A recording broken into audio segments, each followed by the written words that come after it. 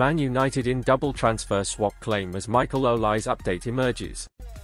Latest Manchester United transfer news and rumours as Ineos prepare for the opening of the summer window on June 14 Manchester United face a busy summer as they prepare for their first transfer window under the co-ownership of Sir Jim Ratcliffe and his Ineos group. United may have yet to decide on the future of Erik Ten Hag, but the new structure put in place should mean that any potential deals will not be influenced by who the manager is. Therefore, the club's plans for who could be signed and sold should be well underway ahead of the window opening on June 14. And Gazzetta dello Sport have claimed that Mason Greenwood has agreed to join Juventus after his loan spell at Getafe in 2023-24. However, it is said that the Serie A giants cannot afford the United forward with the club rumoured to want between £35 million and £40m. It is claimed that Juve will offer talented England U-21 international Samuel Iling Jr. to secure a cheaper deal for Greenwood. It is also said that winger Federico Chiesa could also be a possible player used in any potential deal. Elsewhere, the London Evening Standard are claiming that Chelsea are ready to battle United for the signature of Crystal Palace star Michael Olise. The Blues were heavily linked with the winger last summer before he opted to sign a new deal at Palace, but the report claims that Chelsea will revisit a move this summer amid reports of a £60 million release clause, although the structure of the buyout fee could mean that he is allowed to leave for less. In other news, The Athletic report that Barcelona must find 130 million euros before June 30th if they are to make any signings, leading to suggestions that United could revisit a deal for Frankie de Jong. United were engaged in a protracted transfer saga in the summer of 2022 as they attempted to sign de Jong. The report claims that the Dutch midfielder could be available for 80 million euros, 68 million pounds, this summer, but that fee could drop nearer to the deadline Barcelona have been set. Arsenal have also been linked with the 27-year-old Manchester United learn Jarrad Branthwaite transfer demand as new Everton timeline revealed. Manchester United transfer news as Everton prepare to lose Jarrad Branthwaite this summer with a price being set for the England defender Everton are bracing themselves for a battle to retain Jarrad Branthwaite, following his exclusion from England's European Championship squad and Manchester United's interest in securing a transfer for the valuable player before the month ends. According to the Liverpool Echo, Old Trafford executives anticipate finalising a deal for the centre-back prior to June 30th, with Everton holding out for a £75 million fee. The Football Association has prohibited clubs, agents, and players from discussing transfers while selected players are on international duty this summer. If Branthwaite had been chosen, this would have posed problems. The 21-year-old has been dealing with a minor groin issue that may necessitate minor surgery. However, Gareth Southgate's decision to omit him from his 26-man squad for the Euros in Germany, after giving him his international debut against Bosnia and Herzegovina last week, paves the way for United to proceed with the deal. Everton have made it clear that they will not be pressured into selling Branthwaite at a discount, dismissing rumours of a Goodison Park fire sale this summer as unfounded. Considering the £80 million fee United paid for Harry Maguire in 2019, the £75 million Chelsea paid for Wesley Fofana in 2022, and the £77 million Manchester City paid for Josko Gvardiol, Everton believe their breakout star of the season is in the same league, reports the Liverpool Echo. If a player from Sean Dyche's team is sold, it will only be because their valuation has been met and the player wants to leave, according to club insiders. Branthwaite, who is under contract with Everton until 2027, is also thought to have a higher value due to being English and left-footed. However, like many other Premier League clubs, Everton may need to sell a high-value player before the end of the month to avoid breaching PSR rules again. The club has already received two separate points deductions for such offences this season. Manchester United legend Wayne Rooney might be making a mistake with his next career move. The former Man United and Everton striker has been a breath of fresh air in the TV studio. When Wayne Rooney was a player, it was hard to envisage him carving out a career for himself in the media. It was hard to envisage him doing anything but pestering defenders and scoring goals, such was his laser-like focus on his football. Rooney didn't exactly seem media-friendly. With his skinhead, rough exterior, and heavy Scouse accent, he was the archetypal street footballer, who grew up on the tough streets of Liverpool and didn't give an inch, on or off the pitch. There is always more than meets the eye, however, and since retiring in 2021 Rooney has already reinvented himself a couple of times, showing the full range of his skills and personality. Who could have foreseen him as the flag bearer for Derby County as they fought off financial ruin? Or as a spokesman for soccer in the States, a bona fide MLS icon. More recently the Manchester United great has turned his hand to punditry and, once again, he's been a big hit. Uninhibited by the usual restrictions that befall regular television pundits, Rooney has waltzed into the studio and simply shown the best of himself. There were always the stories about Rooney the dressing room prankster. In his early United days, he once changed the TV channel at Carrington from the Rugby League to the X Factor simply to irritate Roy Keane. He and Darren Fletcher once cut holes in Wes Brown's much-loved trainers. The recent story Rooney told on the BBC about bumping into Micah Richards in Manchester showed that more playful side of the former United hero, exposing his old Man City adversary in hilarious fashion. I saw Micah in Wing's Chinese restaurant. I was in there with my family for a quiet meal, Rooney began with a grin. Micah came in with about 20 of his guys, they are celebrating so I said, what are you celebrating? Micah had made his 50th Premier League appearance. What's he doing? Reaching the 50-game milestone probably didn't even register to a teenage Rooney, hence his astonishment at Richards' reaction. He probably just shrugged and smiled when he reached 250 goals and his deadpan delivery, albeit with a glint in his eye, told you exactly what you need to know about him, now, at 38, comfortable with himself and his status within the game. That was again evident when he took a rather more serious tone as he analysed a 1-0 United defeat to Arsenal on Sky Sports.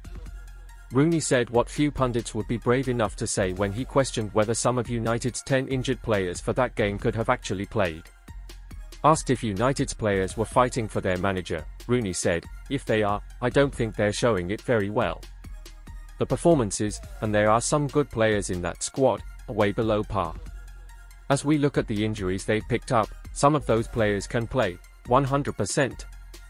When you have the European Championship coming up and an FA Cup final, it's easy for players to stay out of it a little bit, get back for the final and make sure they are ready for the European Championship. I've seen it myself over the years. The studio fell silent in shock. You couldn't imagine Gary Neville or Jamie Carragher, two of the best in the punditry business, by the way, saying such a thing, but it was typically honest and from the heart from Rooney, akin to his old teammate Keane. There have been other such razor-sharp moments from Rooney in recent weeks, but perhaps it's all been said in a certain context, in the knowledge that Rooney wouldn't be in the pundit's chair for long. On his punditry debut for the BBC, Rooney set out his stall for the future and it wasn't great news for TV directors who, no doubt, would love to keep him shackled to the studio. After a disastrous 83-day spell as manager of Birmingham City, Rooney wanted a swift return to the dugout. I definitely want to get back into management. It was a setback what happened at Birmingham, but I'm a fighter and I want to get back into it, he said. You know as a manager, being sacked, is part of the job and you will have setbacks. It's about how you bounce back. Managing Manchester United or Everton is the aim, these big jobs are where you want to get to. But it's a process. I have got to go through the steps and get myself back on track. Full marks for ambition, Wazza. You need a thick skin as a modern day manager and there's little doubt Rooney has that. Others would have been wounded by an experience such as the one he endured at St Andrews, remember Neville at Valencia, but, just as he was a player, Rooney remains determination personified. It wasn't as if Birmingham was the ideal place for him to cut his teeth in championship management. He was hastily brought in to replace a boss, John Eustace, who was doing well and the fans didn't approve of his appointment. One failure doesn't make him a bad manager. Now he's got that next chance he craved, after being appointed as manager of Plymouth Argyle. Rooney will compete in the championship while his former club Birmingham try and haul themselves out of League One. It's an opportunity some who know football at that level believe Rooney has been lucky to get. Not that Rooney will care. For him it's time to prove himself as a coach in the second tier and continue on that upward trajectory, like when he stunned the footballing world as a teenager at Everton, earning the big money move to United. Home Park provides the ideal location for that test and he'll hope his tenure is more akin to what he did at Derby than Birmingham. Still, his absence from the punditry circuit will be missed, especially by audiences who value honesty, insight, and humor. Rooney might be making a mistake going down to Plymouth and back into the cauldron of the championship, but he'll always have a career in the media if he wants it, striker signs. Alejandro Garnacho dilemma, Man United's dream attack after transfer overhaul.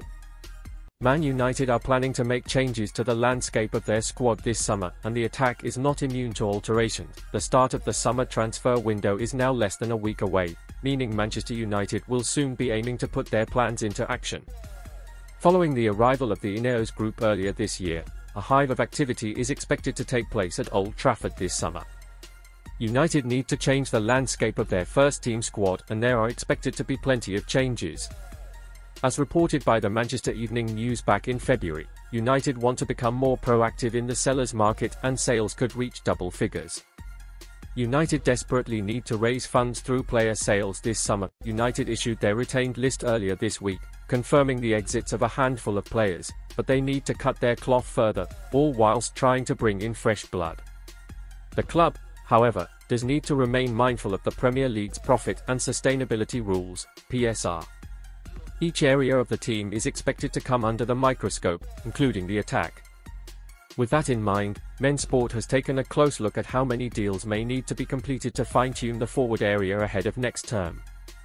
Outgoings United have already announced that Anthony Martial and youngster Charlie McNeill will leave the club when their contracts expire. However, the club needs to make further cuts from within its attacking department. United's squad is awash with wingers, several of who are unlikely to have long-term futures at the club. Jadon Sancho and Facundo Pellistri will soon officially return to Old Trafford following loan spells at Borussia Dortmund and Granada respectively, and it is expected that the club will push to offload both of them permanently. Sancho has failed to have any sort of impact since arriving at Old Trafford three years ago, and there is a general level of acceptance that Pellistri will never establish himself as a first-team regular. Sancho could prove difficult to shift, but Pellistri, coupled with a successful Copa America with Uruguay, could be an attractive option for many.